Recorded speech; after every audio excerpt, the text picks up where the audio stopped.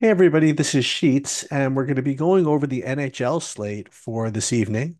Um, I still am not sure to what extent I'm going to be doing these breakdowns on a regular basis. Um, I think that today is a good day to do it because there's not a lot going on and I have a little time. So once again, I'm going to go through the process kind of beginning to end, sort of presuming that the um, what was I going to say? That the uh the slate we're going to start in like an hour. I mean, it won't, but it's a good sense for at least the way I do things. A couple of little tweaks to SaberSim that I think are going to be fun. Like what we're going to do today, we're going to do two separate builds, one using the new SaberSim and one using the old SaberSim. And uh, just for the reason that I'm curious to see what the differences are going to be. Uh, before it completely transitions over to the new Saber sim. And if this is kind of a little project that I really don't have time to usually during the day. Um, but because I have a little time, I'm going to do that. So again, first things first. First thing I like to do is get a sense for what I think should happen. In other words, with the projections. Then we're going to look at the projections, then try to build at least uh, either theoretically or actually by hand and then we're going to go through two SaberSim builds, one using the new SaberSim and one using the old, uh, and utilizing contest sims in all of them. I think this is going to be a pretty in-depth video, and we shall see where this takes us. So it is a four, five, six, seven, eight, nine. What is it? Nine game slate, which is very healthy. Um, first thing we'll look at is just basically the SaberSim implied team totals. That'll at least give you an idea of what teams should, you would think, project pretty well. Um, Vancouver, excuse me, Vegas 3.2. That's not so big. Tampa 3.4. Carolina 3.6 is one of the bigger team totals. Florida 3.5. Nashville 3.5. Dallas at 4.0 looks to be the highest.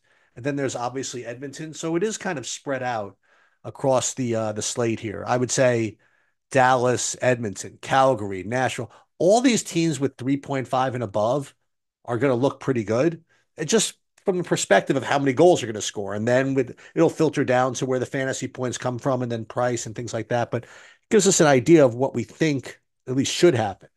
Another thing that I like to do, you don't think this is a big deal, but I, I kind of do, is just to look at the way the slate breaks down as far as spacing goes. Um, let me just do this to get this alert out of my way here. Okay. Um, so there's one, two, three, four, five seven o'clocks, a seven thirty, and then two eights, then the nine by itself and the ten by itself. It, it, I I'd like to do this to get a sense for when there are late swap opportunities. Um, at the very least, you know, I would give it a run at like seven fifty before this, you know, last group, and then if you really had time, I'd give it another run. You know, right at about eight fifty. I think that makes a little bit of sense. Um, okay. So let's take a look at my actual sheets, which again, I don't put up, you know, all the time for free, but uh, we'll do it this time. And what we're looking at here is kind of, again, we are sorting them by sheets value score, which is, it doesn't have the formula in here, but it's a, it's a formula which attempts to reduce the points per dollar metric and the just raw fantasy point metric into one number. Um, this is always kind of undergoing going work. I know Goldie's actually trying to to make improvements upon this as well. But uh, I found that across most sports, this is the best way to kind of reduce everything to one number. And what we're looking for in hockey is ideally a lot of guys or a handful of guys from the same team, preferably from the same line, that project well, you know, because hockey is all about, well, mostly about correlation. So if you could find guys that project well, they're going to correlate well if they're on the same line. And that's what makes kind of, you know, the good building blocks to like good hockey lineups. All right. So the first thing that I notice when I look at this is the top, you know, overall sheets value score guy on Tampa doesn't really have anybody else that rates you know really highly. You do have a Hedman and Gens and Guentzel, but it's not like these guys are that high. And by the time you get through putting all three of these dudes in, you're you're you're wasting like half your salary. So it doesn't look like, even though you know Tampa's got a big total, that their line is going to be a, a real priority for me. Um, next thing that I'm going to notice here is, boy, Sean Monahan at 3,300 and Zach Werenski from. So we have one, two. So we have three, maybe even four Columbus guys. Uh, they're not all on the same regular line, but they're all on the same power play line. So this actually looks pretty intriguing to play the four guys in the power play line together, or maybe even find the fifth. What else can I notice here? So you okay, you have uh Kadri from from Calgary along with Mackenzie Weegar. They're all kind of in the same neighborhood. Then you Rasmus Andersson, he's from the two, he's from the two line. Yeah, so while the plays are okay, you don't see a lot of really great correlation. I see these two cheap Washington guys, or these, I don't say cheap, these mid-range to cheap Washington guys, again, from the same power play line. So with Dylan Strome as well. So this is actually pretty sneaky. So I think that the Washington power play line is also very, very good. What else do I notice here? Uh, here's the Florida, but doesn't look like anybody else is that great except for Sam Bennett. So I think that if I were going to hand build, what I would probably try to do is play either or both those Columbus lines or the Washington lines. And I would focus on the power play lines. Now, the other thing you'll notice is that they were all pretty cheap. So you could probably get in some kind of decent one-offs also if you wanted to. Um, okay, so what does this mean? Let me let me actually try to build a lineup and see what we could do if we were just literally trying to hand build, which I I do in hockey actually from time to time. So let's clear this and let's remind ourselves of some of these guys. Let, let's just put in guys from both of them. We'll put in Monahan for Columbus. We'll put in Werenski for Columbus. We'll put in who else was it? Uh, Kent Johnson. Again, we're looking at that power play line. Um, who else? We'll get back to the rest of it.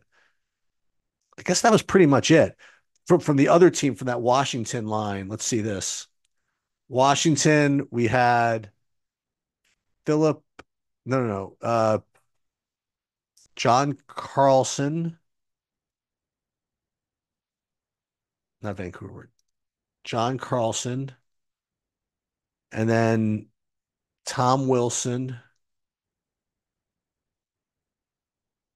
and Dylan Strome, right? Okay. Now, before we even move on, let's try, let's find a goalie here. And I like to find kind of the cheapest goalie that looks decent. Um, Oettinger 8,500 is probably a little bit too much. Uh, you know, what we could do it sort it by goalie. How about that?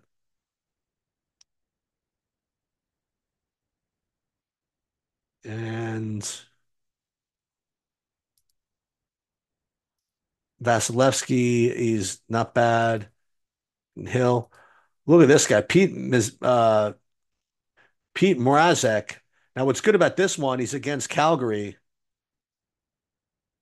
who's probably going to put up a bunch of shots. So this is actually a really good play. So let's let's let's let's put him in. Where's Chicago? Um, over here. So we put in some of these cheapos here, and before we even fill this out, I mean, you can see that we can we can do some stuff. You know, at 74.50 a man, we we could juice this stuff up. So, like for example, the top guy on the Washington power play, I'm gonna I was about to really date myself here and and just presume that's Alex Ovechkin, but is he not in the league anymore? It's like terrible that I don't know this. Let's see.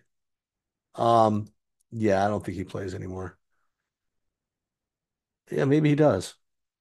No, there it is, Alex Ovechkin. No, there it is. So you could play him real, rather easily to fill out that Washington power play. One, two, three, four, five. And Dubois is the rest of it. So if we really wanted to be be be whatever, let's put in Ovechkin. So we have Strome, Wilson, Ovechkin, Carlson. We could play Monahan still, but we don't even have to. We already have a good 4-3.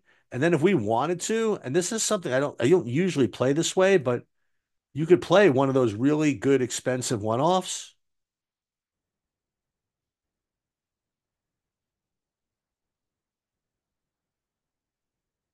Um, whether it be Forsberg for San for for for Nashville or even the Tampa Kucherov at 9,400, we can almost play him. What if we just what if we finished off this Washington thing? Let's let's put in the other Washington. So that's Dubois. And now we can play fifth. So we have a five man Washington. We're playing one of the one of the Columbus guys, and we could put a two man together if we wanted to.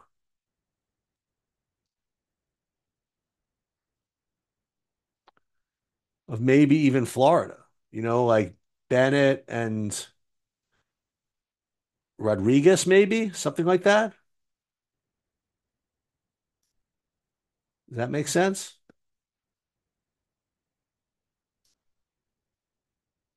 So if we went just for just the hell of it, say we went Bennett and then Rodriguez.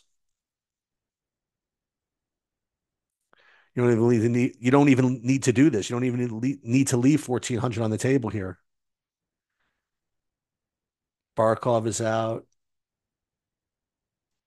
So you could screw around. Okay. But the point is that if you start with this Washington power play line, then you could do a lot of lot of stuff here. Okay. Now I wonder if what SaberSim is going to have us do. So let's do it two ways. First, we're going to do actually, let's do the new SaberSim first. Okay. And here's going to be the difference. The difference is, is that for the most part, the new SaberSim is a lot more automated. So I'll show you what you do with the new SaberSim. We're going to upload our projections. We're, we're going to build 5,000 lineups.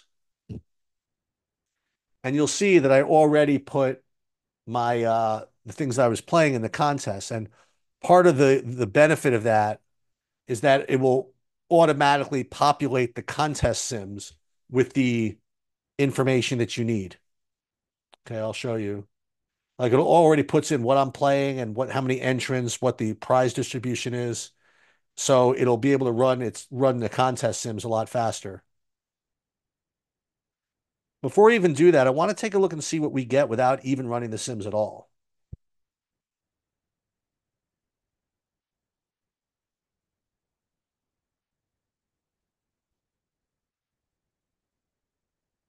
So before we even do anything, you'll see that I would be getting mostly uh, Columbus, Tampa, Calgary.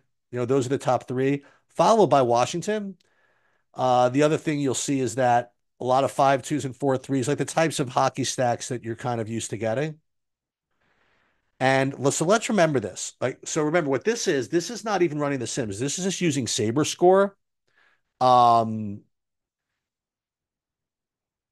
under large slate, and just if, if anybody's interested, what what this is is this formula. It uh, 0.2 times on the possession. It is it is taking 0.8 times the 95th percentile outcome, not 99th, which is interesting. Uh, and it is dinging it for ownership by 0.5, which is pretty it's pretty heavy. So it even though it looks like you know you're getting teams that make sense.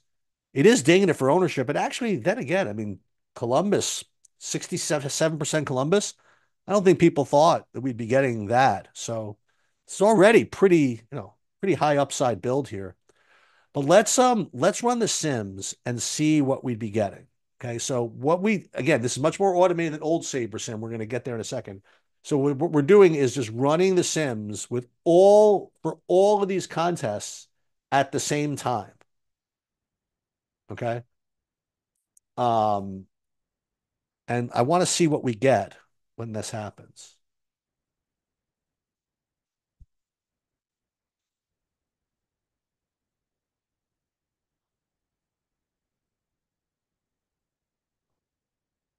Um, looks like it's a little slow. Looks like a little slow going here. No, here we go.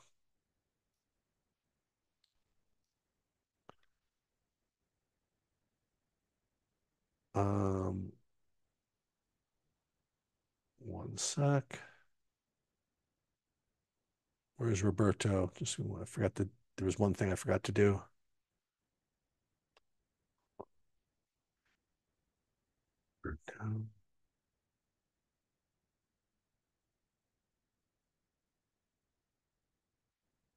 Okay. Um. So now what we'll be getting is more. Look at this 55% Minnesota.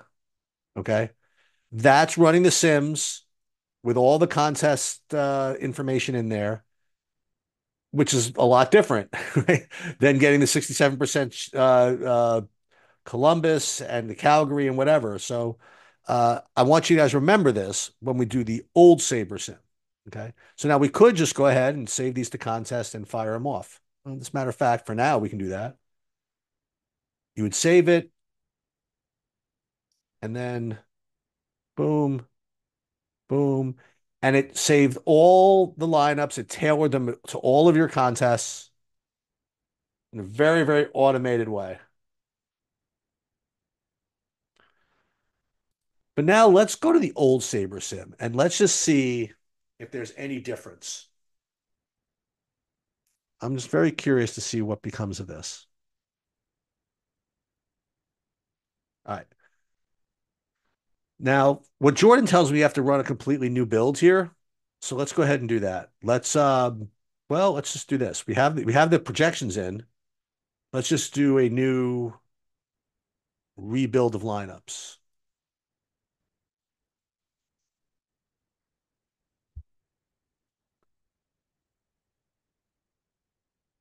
And I want to see the difference between, you know, the display in pure Saber score, and then I want to see the difference in display when we run the actual sims.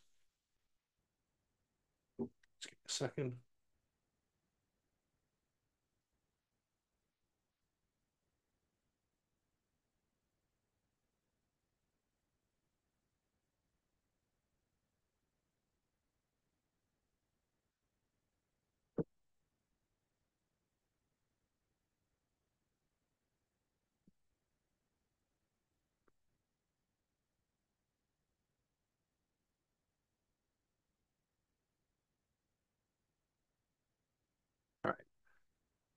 Right. So first of all, let's just take a look at the regular look here. Look here, and already it's like much different, right?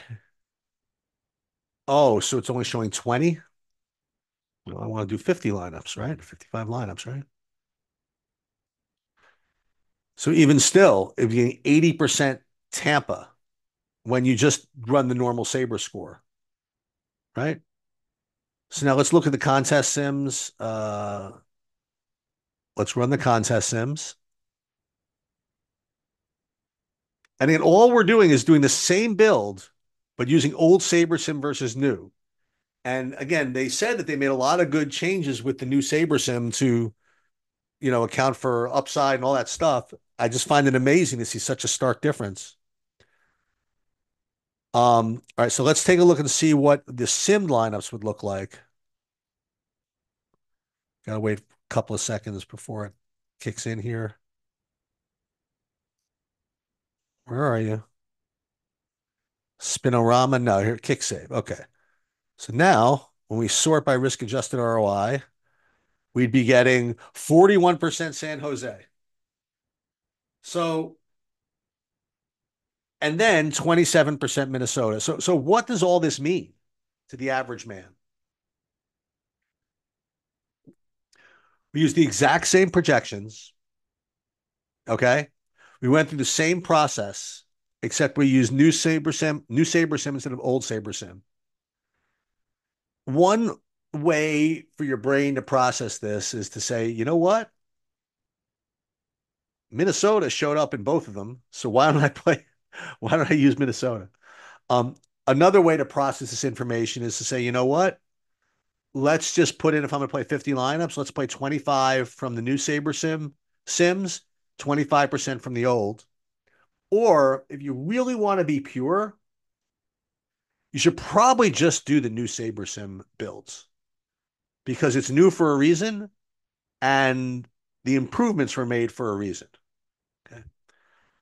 Um, now I unfortunately did not save the uh the settings for the old Saber Sim, uh, the new Saber Sim. But one thing you could do again is to just double check your stack exposure and just make sure that you're getting the types of stacks that you want. And this is actually kind of interesting. You're not even getting all four threes and five twos. You'd be getting a lot of three, three twos and four twos, which uh, again, I don't know exactly what that means. Uh, but I just find it interesting that when to, to see what the impact of these SaberSim changes were. Um, so that's pretty much all I have. And again, it's it's so for those people that think, oh, you know what? I mean, the, the, the game is becoming so easy to beat or much harder to beat because everybody's using these tools.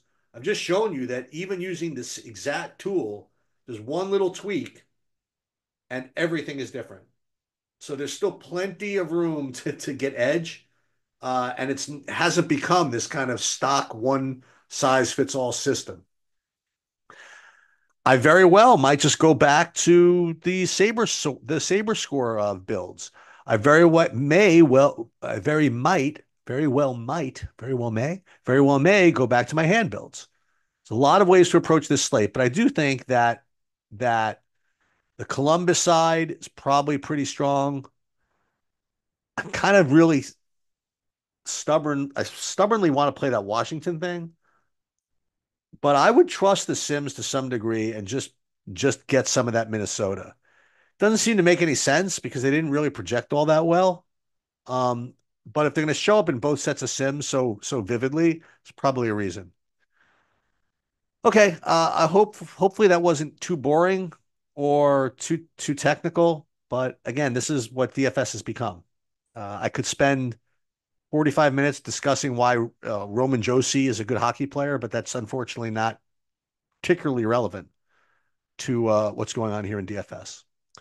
Okay, that'll do it. Um, good luck tonight, and I will definitely put an update, uh, updated projection set out uh, a little closer to lock. Thank you very much, and have a good day.